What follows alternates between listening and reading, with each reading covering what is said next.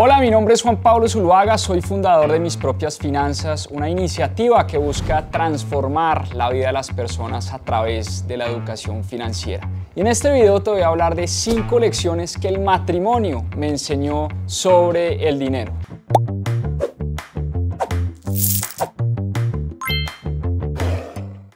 Caro y yo, Caro, mi esposa y yo, nos conocimos desde que estábamos en preescolar hace muchos años. Fuimos amigos del colegio toda la vida y a pesar de que yo me fui a estudiar mi pregrado a Estados Unidos, siempre que volvía a Colombia de vacaciones nos veíamos constantemente. Cuando volví a Colombia y nos pusimos a estudiar para el GMAT, para irnos a hacer nuestra maestría, en la medida en que empezamos a pasar más tiempo juntos, nos enamoramos y yo decidí tomar una de las decisiones más importantes de mi vida proponerle matrimonio.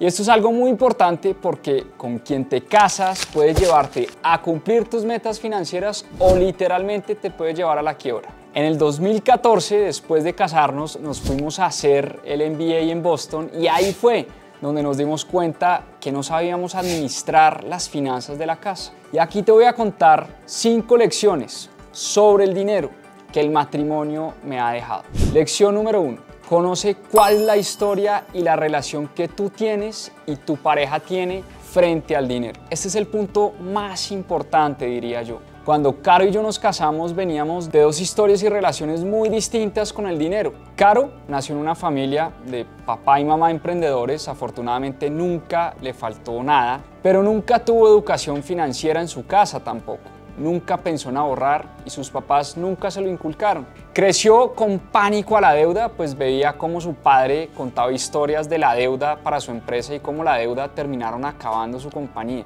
Por mi parte, mi papá también siempre fue un gran emprendedor, pero siempre ha sido una persona muy nerviosa con el dinero. Desde muy pequeño yo recuerdo que él me decía, Hijo, ahorra para las épocas de vacas flacas. Yo no sabía eso qué significaba, pero me sonaba espantoso y aterrador. Entonces yo siempre ahorré gran parte de mi mesada, pero con muchísimo miedo, con miedo a las vacas flacas. Mi mamá, por otro lado, fue profesora de preescolar toda su vida, nunca tuvo buenos ingresos y ha dependido toda su vida económicamente de mi padre y eso es algo que en varias ocasiones ha sido motivo de discusiones y de frustraciones personales para mi mamá. Así que cuando te casas, traes esa carga familiar para bien o para mal y te juntas con una persona que no necesariamente piensa igual que tú cuando de dinero se trata. Por ejemplo, cuando íbamos a comer con Caro, ella nunca revisaba los precios de la carta del restaurante, mientras yo siempre lo hacía. Y estos detalles, que pueden ser pequeños,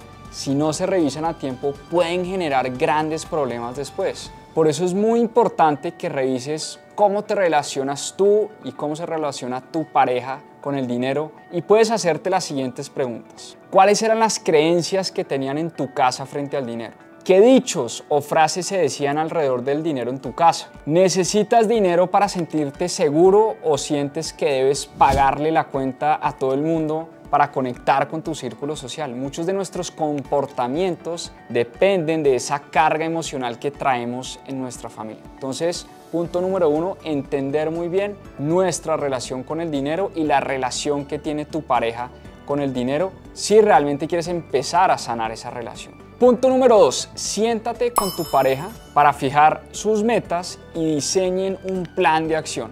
Las personas tienden a manejar sus finanzas por separado y aquí es donde empiezan los secretos en las parejas sobre el dinero. Uno no le cuenta muchas veces a la pareja lo que tiene, lo que gana, lo que debe. Y algo que nos ha unido muchísimo a nosotros como pareja es tener muy claro qué queremos financieramente como familia. Hace unos años nos sentamos con Caro a escribir cuál era nuestro sueño de libertad financiera y lo escribimos en papel.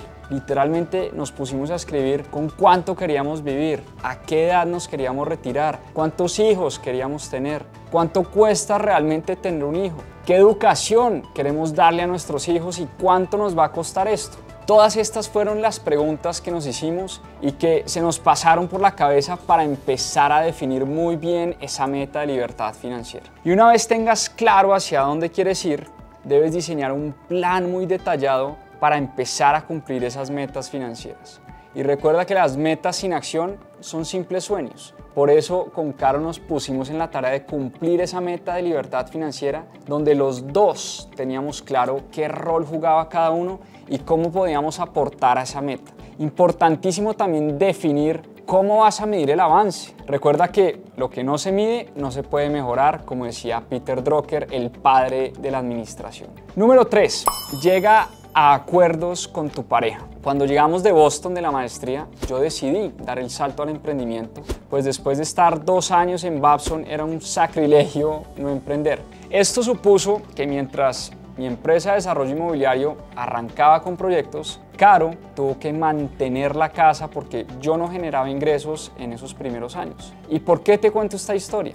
Porque según un estudio de Fincomercio, el 93% de las parejas se divorcian por dinero. Y esto sucede porque no hay acuerdos entre las parejas. Volviendo a mi historia, con Caro nos sentamos y fijamos un plazo para mi emprendimiento, de manera que los dos estuviéramos en la misma página dijimos, bueno, si esto no sale adelante en dos o tres años, te empleas, consigues trabajo y buscamos otro plan. Pero teníamos los dos muy claro la hoja de ruta. Número cuatro, invierte de manera conjunta con tu pareja. Las inversiones familiares son responsabilidad de los dos. Eso de que mi esposa estudió economía o finanzas y ella es la que maneja las inversiones de la casa, eso es un grave error.